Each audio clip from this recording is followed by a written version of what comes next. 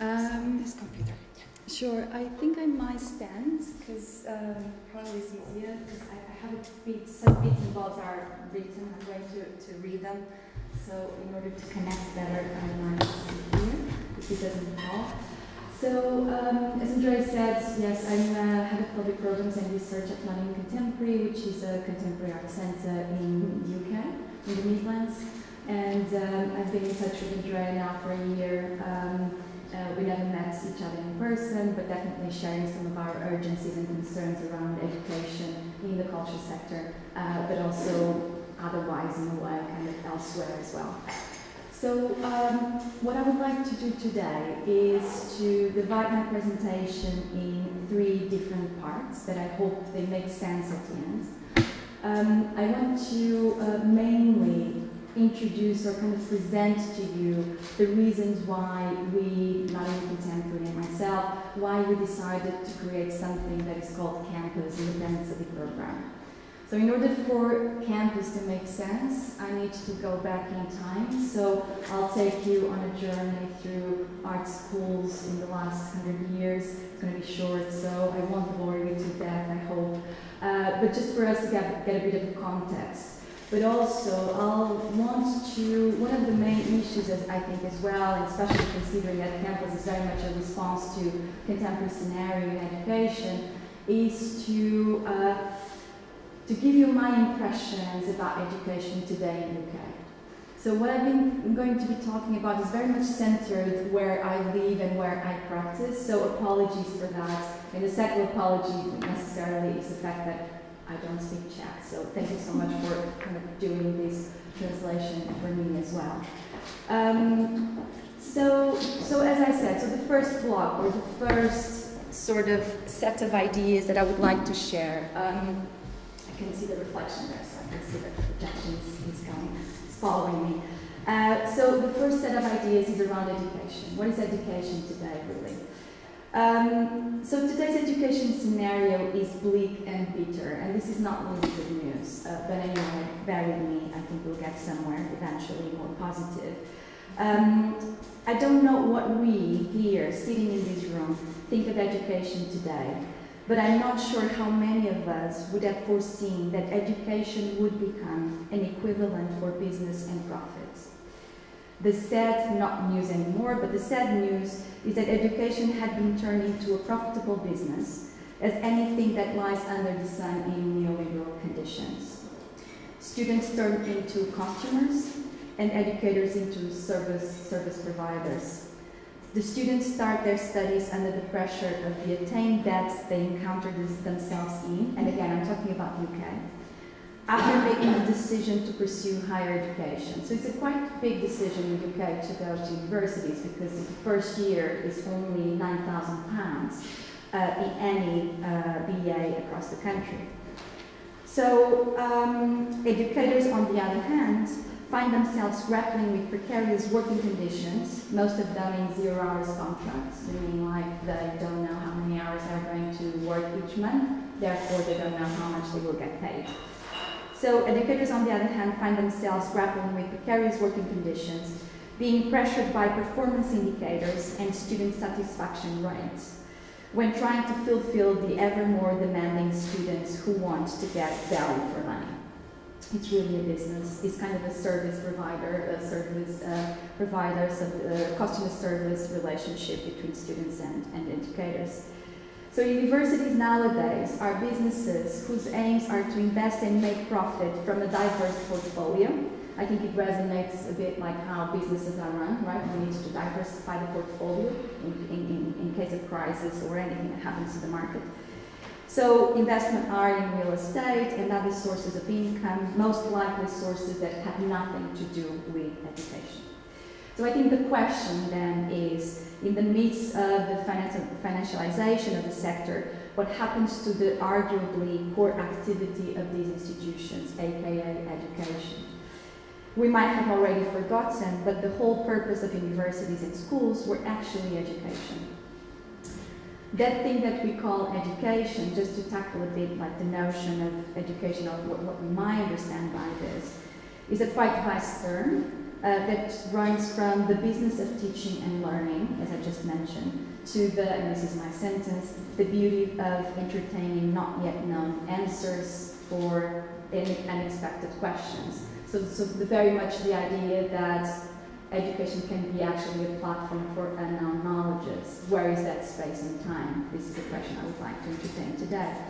So it's Fred Moten and Stefano Harney, the authors of The Undercommon, is a book that came out, um, I think 2015, if I'm not mistaken, to uh, US uh, theorists. Uh, and the publication is available online, so it's um, open access.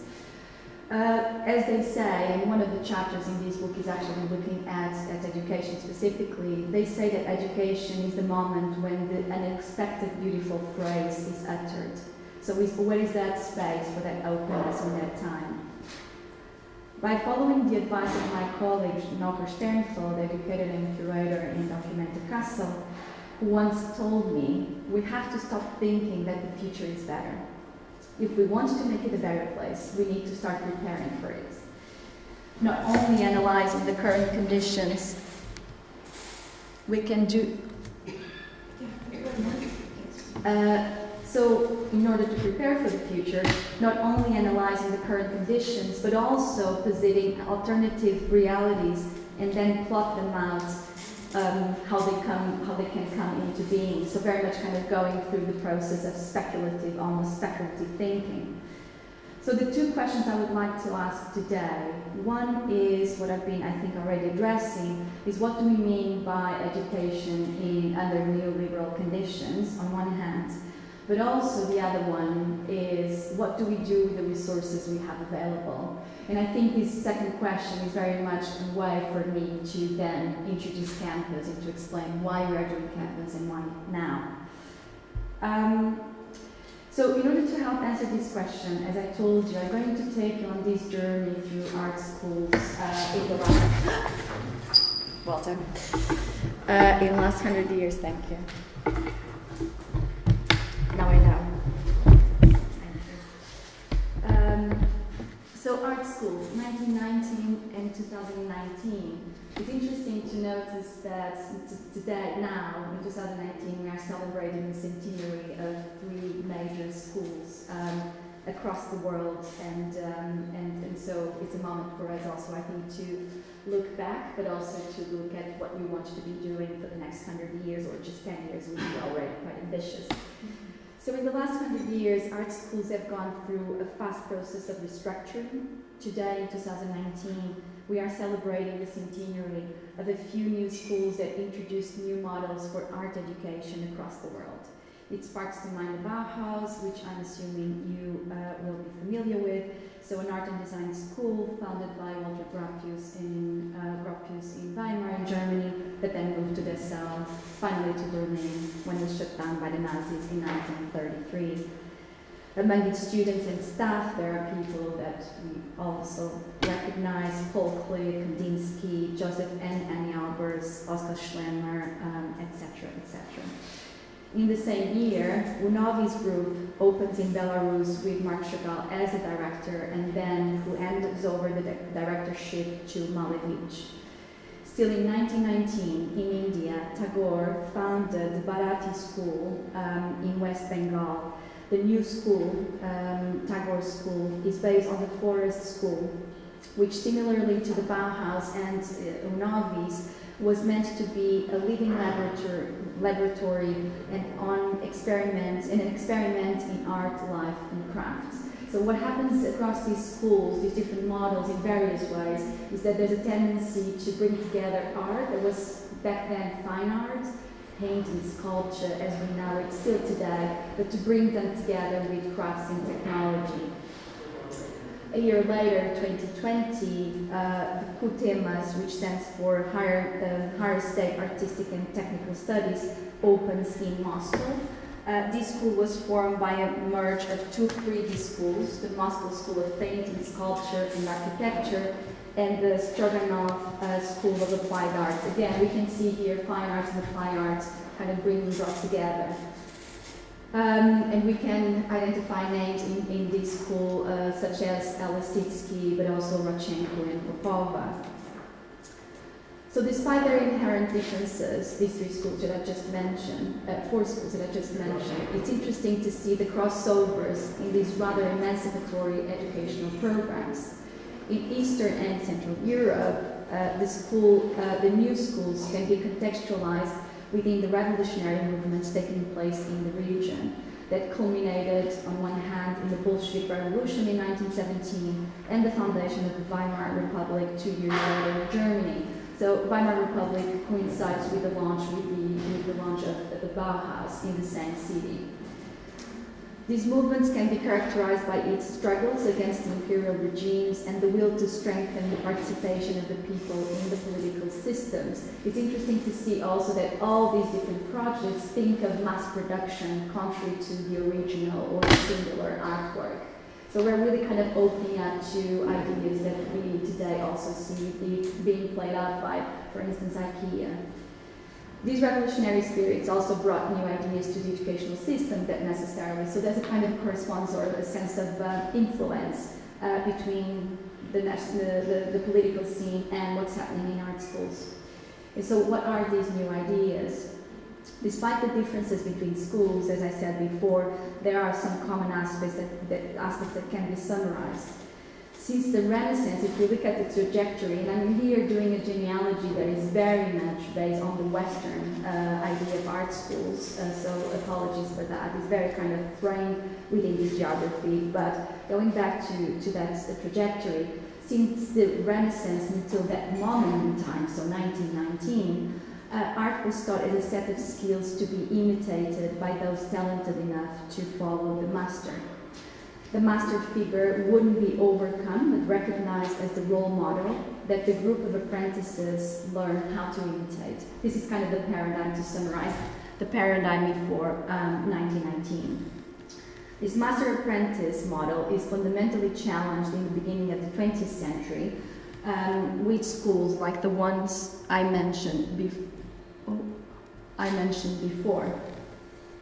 Contrary to the Renaissance paradigm, the new schools see the role of art in a quite different gaze. Art is not devoted to imitation, but actually to invention and innovation, technology and mass consumption, as, as I just mentioned.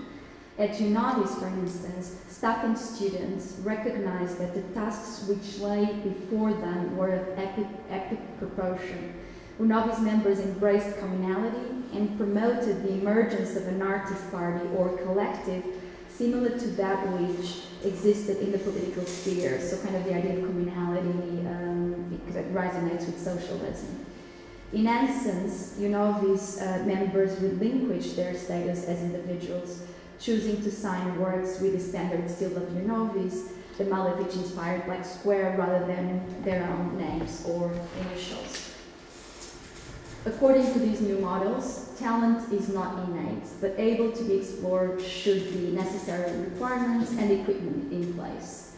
In order to promote the students' creativity, well-furnished workshops go hand in hand with innovative tutors and the master system that was uh, characterized, it was kind of uh, present in the Renaissance, is replaced by group workshops.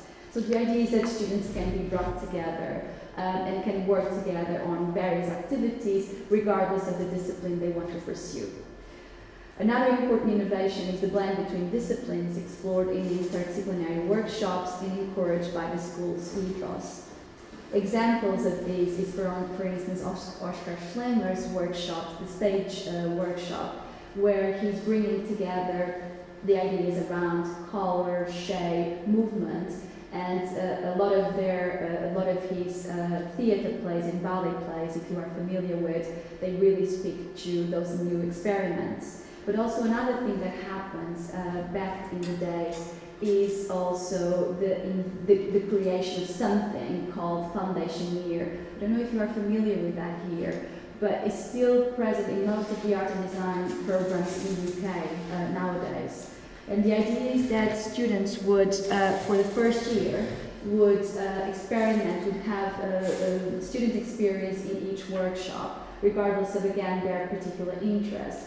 So when they would continue to develop their studies, they would have knowledge across the board. Say, you know, students in Weaving Workshop would necessarily first year have experience in photography and in the stage workshop, etc. So really very much trying to foster not only collaboration, but also um, a more, let's say, sophisticated cultural practitioner um, with knowledge across, across the board. Um, so so now if we look at UK, and I just mentioned this overlap in the sense that, for instance, the foundation degree is still very present today in, in education in UK.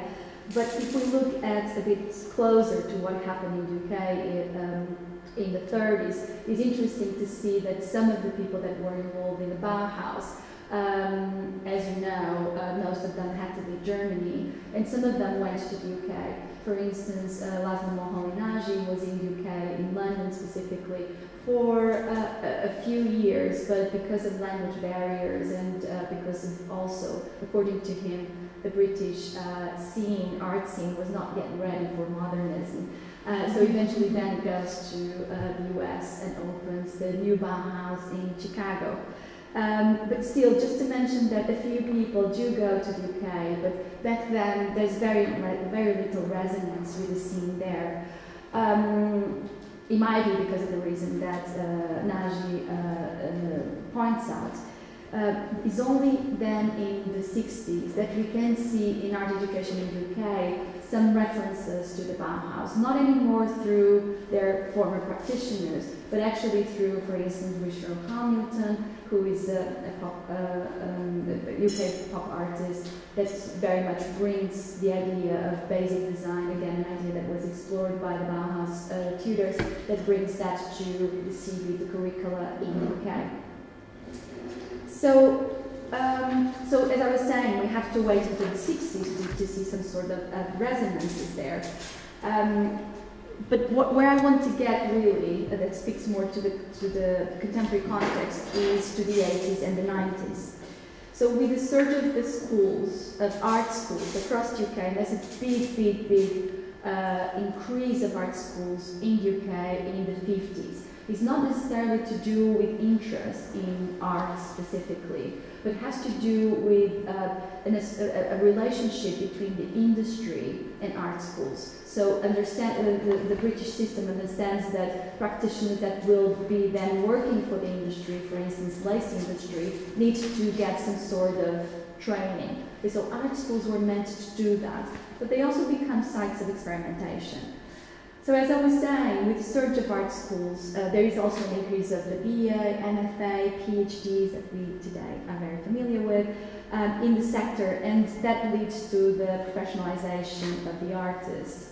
In the book School, Sam Thorne, um, School is the title of the book, Sam Thorne, the, the author, also the director of Nottingham Contemporary, argues that by the late 80s and early 90s, the discursive mode of teaching had become a more professionalized form of sociability, one with close ties to the commercial art world. So what we see uh, happening in the 80s and 90s, which actually overlaps with, uh, uh, uh, I don't know if you're familiar with Margaret Thatcher, who, is a prime minister in the UK in the late 70s and early 80s.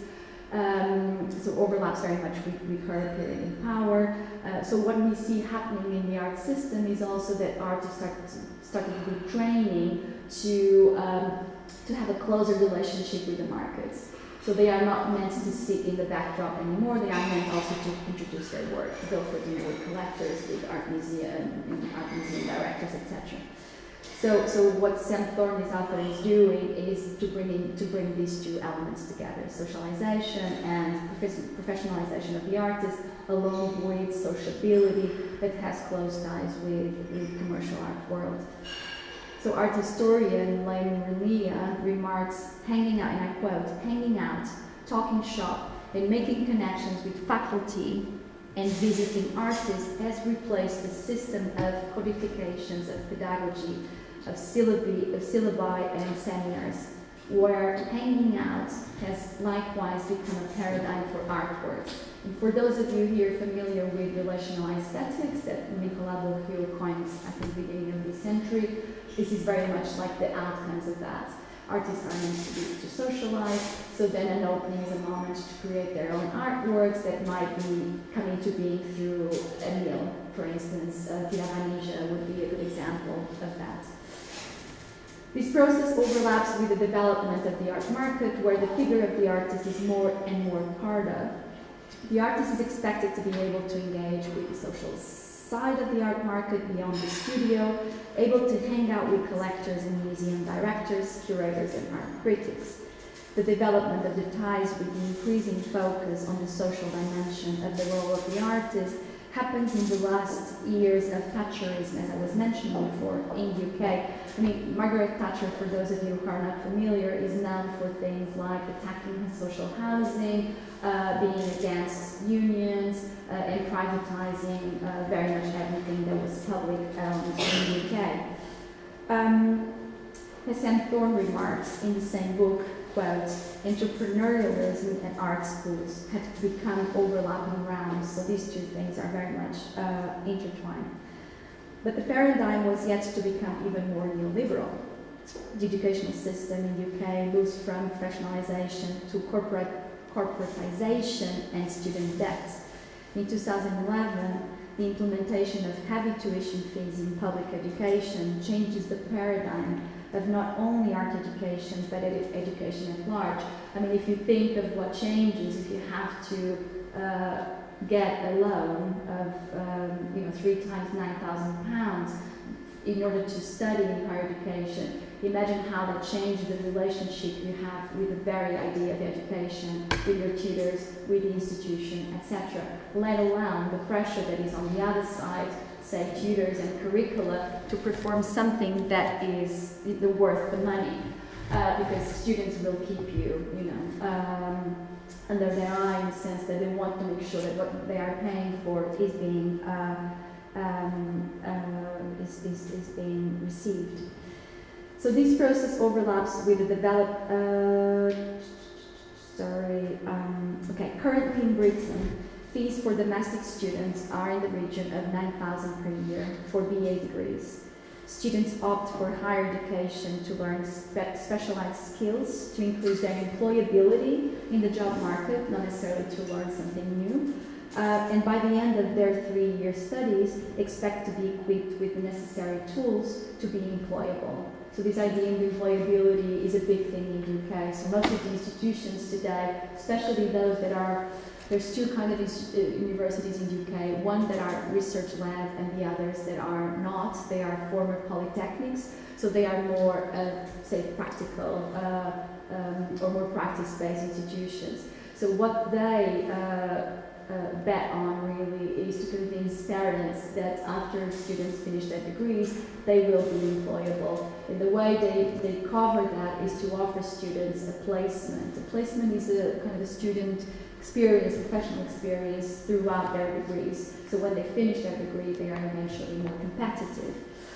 Um, so students opt for higher education to learn specialized uh, uh, skills, as I was saying, but upon conclusion, so when they, when they finish their degrees, they are welcomed with their studies deal. Uh, and their, their first job will help pay um, the, uh, their loan, their debt in this case. In line with the corporatization of education and the market-oriented orientated philosophy, students see themselves as customers and tutors are as service providers. One looks for the best value for money in the market, which is influenced by a combination of reputational capital and studies quality.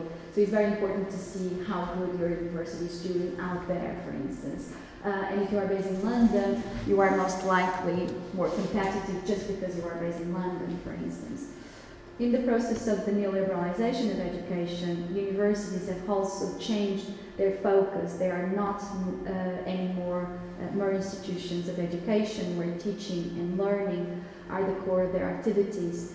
They are now encouraged to diversify their portfolios, um, develop their develop new business models, attract funding, and invest in real estate. These really big companies, I mean, and, and if you visit the UK, especially the city-based institutions, universities, you'll see that most of the property around the university campus is all owned by the university.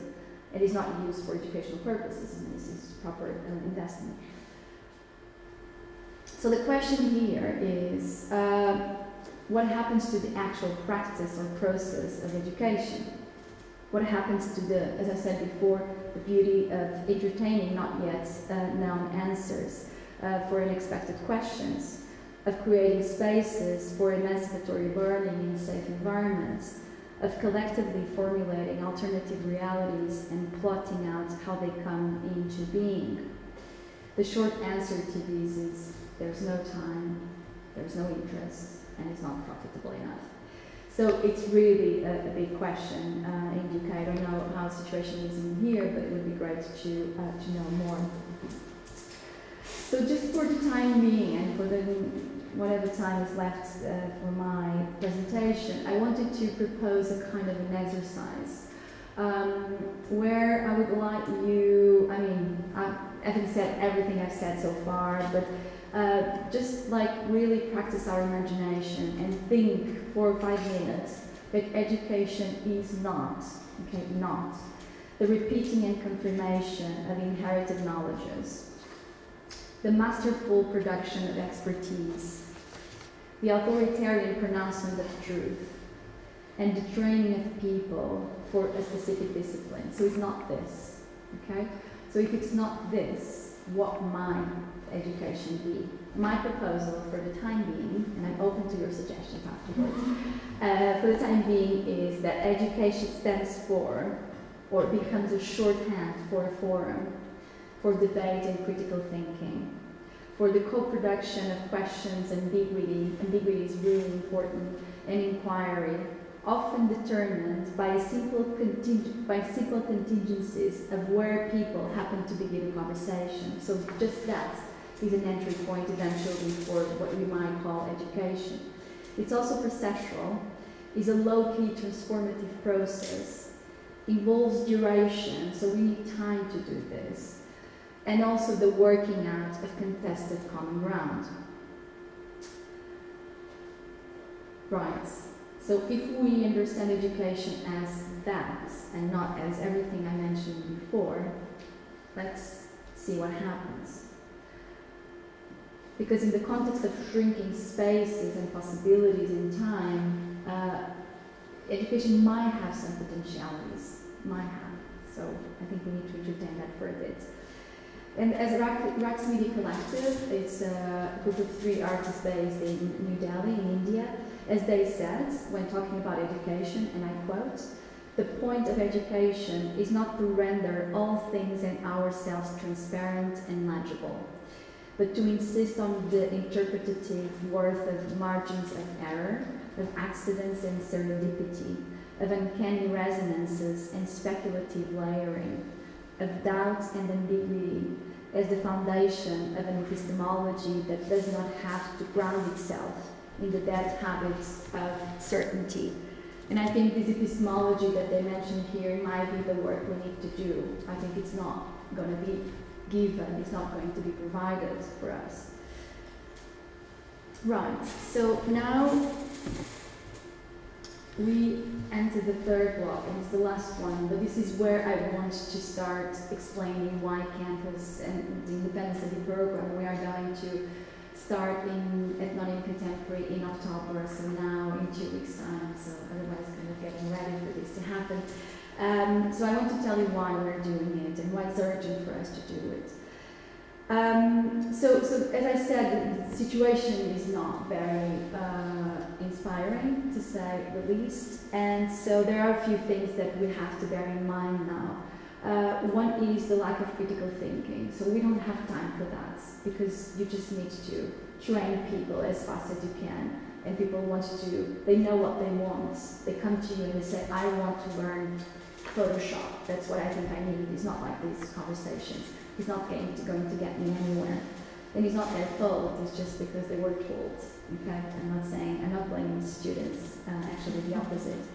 Um, so the lack of critical thinking is one important aspect, but also the impact that these kind of policies have in the field at large.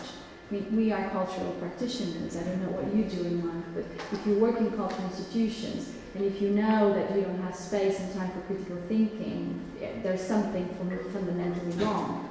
So it's not just education on, on one side and us practicing on the other that necessarily speaks to us. Our audience, our colleagues in the future are going to be those people as well. So what do we do as well for us and to make sure that this, uh, um, this space of critical thinking exists?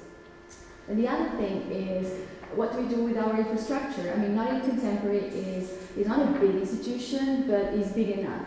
We have four galleries, 800 square meters in a small uh, project space. We have a performance space, also of 300 square meters, and we have meeting rooms. So there's a lot of space. What do we do with that? And I think this is really the question: how do you do you render your institution available um, for something that you find uh, you and you and expanded field find urgent today? So in order to uh, to, to think, um, in order to to address this, uh, how many of you here work in the cultural sector? Just for me to, right. So I think I think you know uh, what is to be constantly pushed and, and by the urge to deliver.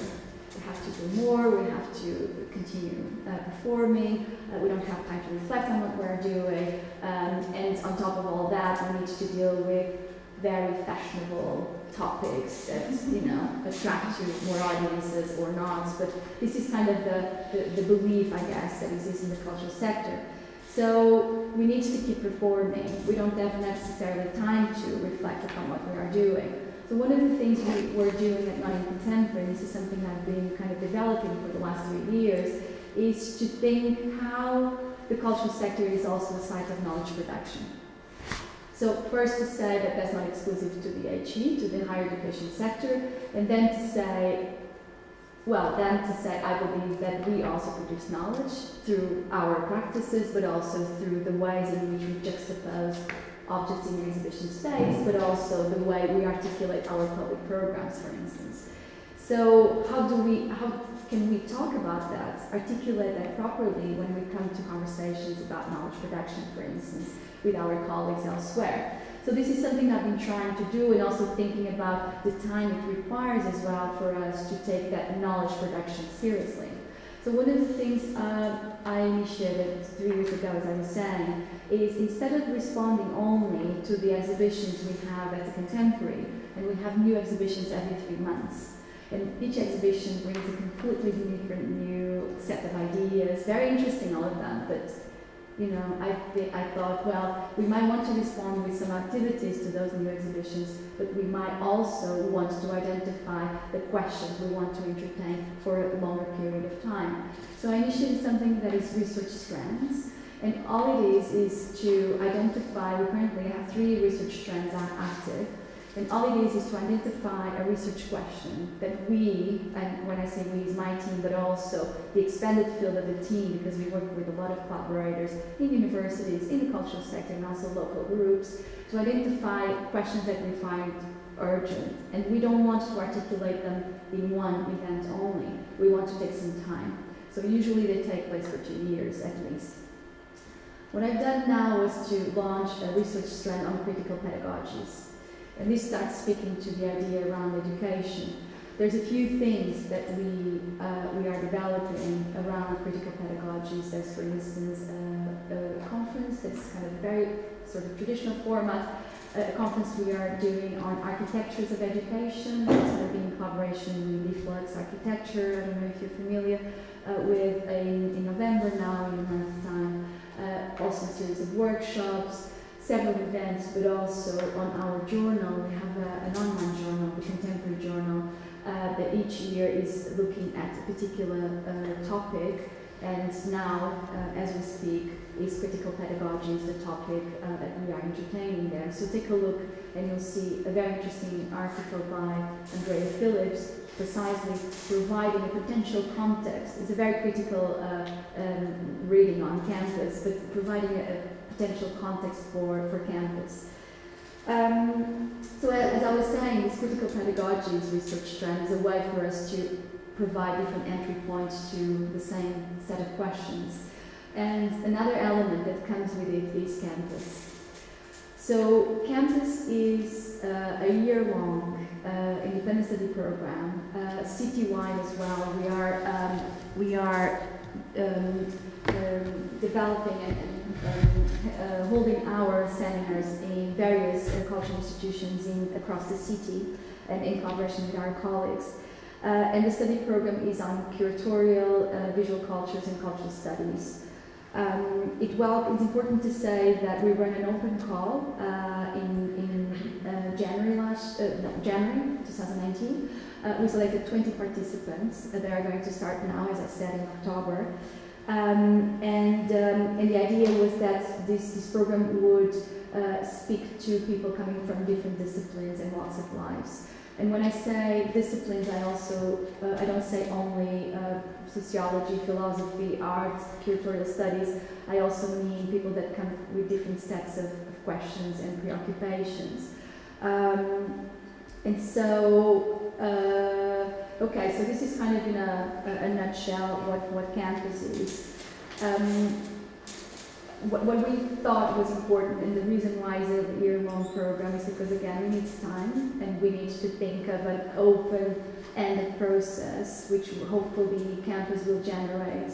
We will meet every month for three days in a row and for each seminar we will have a different guest speaker uh, joining us in order to bring different sets of ideas that are not only provided by uh, the group members.